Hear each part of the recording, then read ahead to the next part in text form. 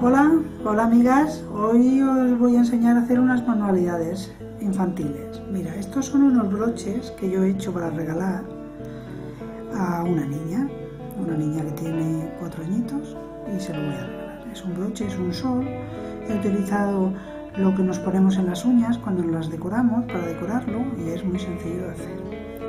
Y aquí tengo otro broche que es una mariposa, que es muy bonita para otra niña, mira, hasta uno mismo se la podría poner. Quedaría una cosa bonita, ¿veis? Y mirar qué cosa más bonita, el sol. Es un sol que alegría. Son dos manualidades muy sencillas. En esta ocasión los patrones los tenéis en Vero 4 Casa, que los podéis sacar y podéis hacerlo, ¿vale? Yo voy a dar las explicaciones. Bueno, yo lo estos, estas manualidades las he hecho con unos mm, paños que he comprado en Mercadona, ¿veis? Que los hay de varios colores y no he tenido necesidad de ir a comprar fieltro. Con esto mismo me he apañado y han quedado buenísimas, pero de verdad. Y luego hago unos, unos palitos, esto esto es el palo de los pinchos morunos que compro también. Ay, cuánta publicidad le hago a Mercadona, en Mercadona. Y, he hecho unos corazoncitos, que es el que os voy a enseñar que va relleno.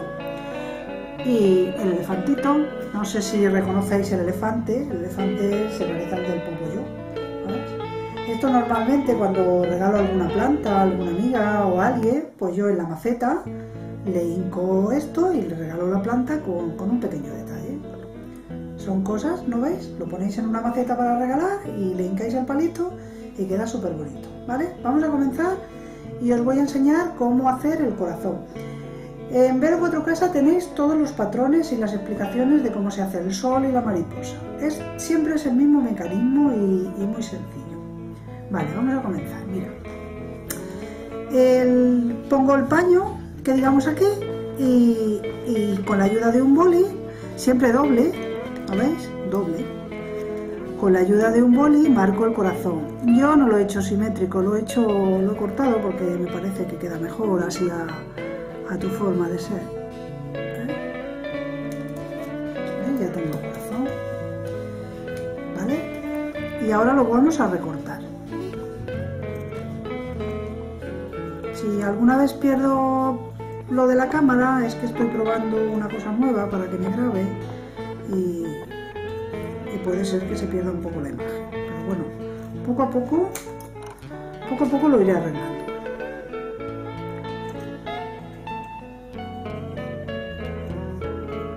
¿Veis? Ya tendríamos el corazón. Como hemos pintado por aquí para que no se vea, esto lo vamos a poner del revés. Bueno, como el corazón lo vamos a ver, el corazón lo vamos a rellenar con algodón. Entonces al darle la vuelta, como no era simétrico, ¿no veis? Ahora aquí le sobra un poco, pues yo, para que no se vea, vuelvo a recortar para que quede totalmente. Como se puede pegar, pero como yo lo quiero rellenar con algodón para que quede más abultadito, pues entonces lo voy a coser. Empiezo por aquí y voy a utilizar un color más oscuro, al coser porque los ojos van a ir en este color oscuro para que destaque. Vamos a hacer puntadas pequeñitas, ¿lo veis? Así. ¿Lo veis? Así es. Pero para que se quede bien, bien completo, lo vamos a pegar por dentro, un poquito en las orillas y luego lo vamos a coser con la ayuda de una tijera o de cualquier cosa que tengáis a mano,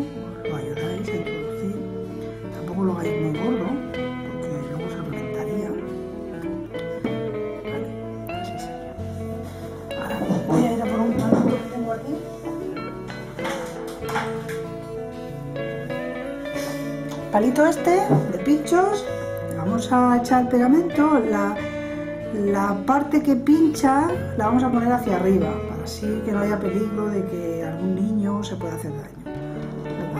Lo vamos a introducir ahí, lo vamos a subir bien para arriba,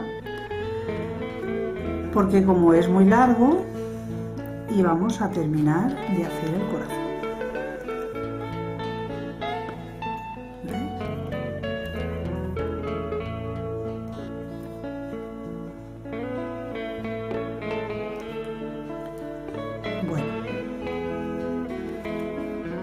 Esto quedaría así.